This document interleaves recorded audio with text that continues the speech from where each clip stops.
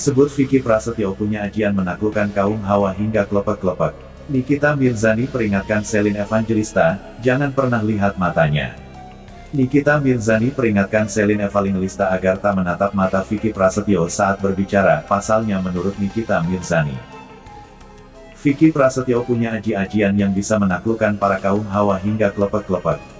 Hal itu dituturkan Nikita Mirzani saat berbincang dengan Selin Evangelista melalui saluran YouTube Crazy Nick Real, Selasa tanggal 30 Maret tahun 2021. Awalnya, Selin Evangelista membantah dirinya terkena modus Vicky Prasetyo yang telah dianggapnya sebagai kakak. Istri Stefan William itu justru memuji Vicky Prasetyo yang sering kali membantunya soal pekerjaan.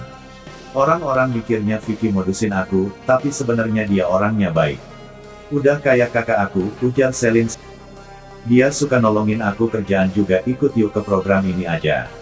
Suka ngasih-ngasih materi. Nanti ngomongnya gini ya, diajarin, terangnya. Mendengar pengakuan Selin, Nikita Mirzani memberi peringatan agar ibu empat anak itu tak melakukan kontak mata dengan Vicky Prasetyo. Tapi aku kasih tahu kamu, ya, kalau kamu ngomong sama Vicky, kamu jangan pernah lihat matanya, tandas Nikita. Janda tiga anak ini menyebut Selin bisa saja terhipnotis oleh sorot mata Vicky. Kamu kesirat nanti. Merem aja merem, ujar Nikita lagi.